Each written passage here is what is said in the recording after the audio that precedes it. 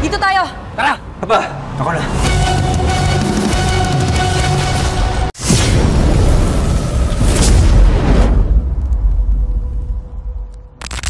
Mga dapat abangan sa FPJ Batang Quiapo. Galit na galit nga si Santino kay Tisoy dahil ang akala niya pinatay nito si Coach Gary.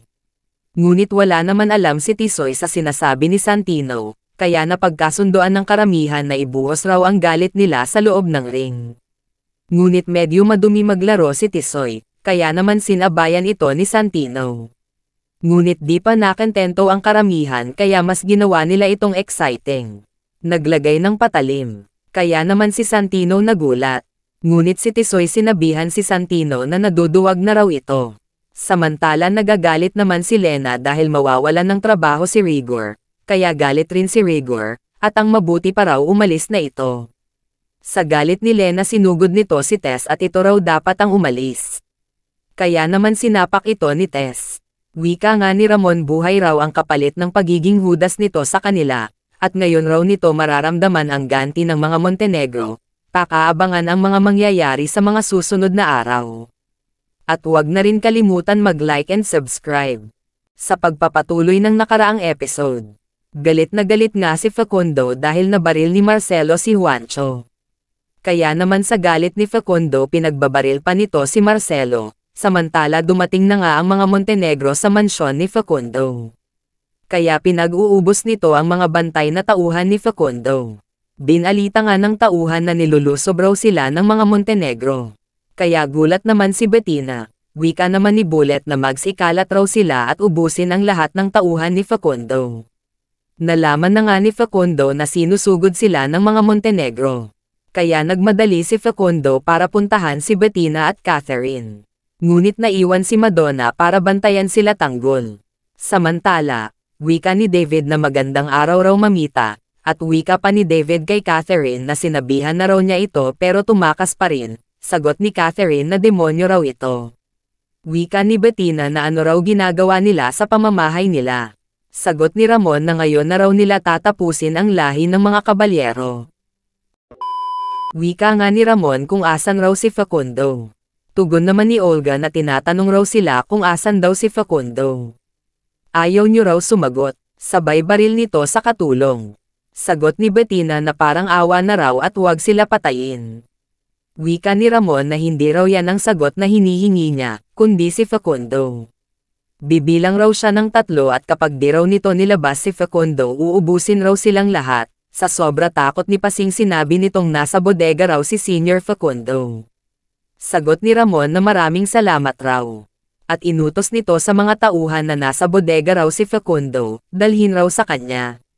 Wika ni Pasing na patawarin raw siya. Tugon naman ni Olga naman ng maraming salamat raw. Sabay binaril na rin nito. Wika ni Bettina na mga halang raw ang kaluluwa ng mga ito. Samantala nagmamadali naman sila Facundo at baka kung ano na raw ang mangyari sa pamilya niya. Ngunit nakasalubong nga nila ang mga tauhan ni Ramon kaya naman tuloy ang putukan, Patuloy nga sa pagpapalitan ng putok sila Facundo at Ramon. Wika ni Facundo kung asan raw ang pamilya niya. Sagot ni Ramon nandito raw sila. Come and get him. Sagot ni Facundo na wag raw silang idamay dahil labas raw ito sa away nila. Wika ni Ramon na nadamay raw sila mula nung trinidor at tinarantado niya raw sila. Pati raw ang ama niya nanganib ang buhay dahil raw sa kanya kaya raw sila andito para singilin sila sa lahat ng atraso nila. Tugon ni Bettina na wag raw sila papatayin parang awa na raw nila, at humingi rin ito ng sorry kay Catherine. Sa kabilang banda humihingi naman ng tulong si Tanggol kay Madonna at parang awa na raw nito. Nasabi pa nito na iniligtas raw niya ang buhay niya. At nangako raw ito sa kanya na balang araw ililigtas rin daw siya nito. Kinakailangan raw nila ngayon ng tulong niya. Parang awa na raw nito tulungan raw sila, at hindi raw sila magkalaban. Sabay baril ni Madonna sa lubid ni Tanggol.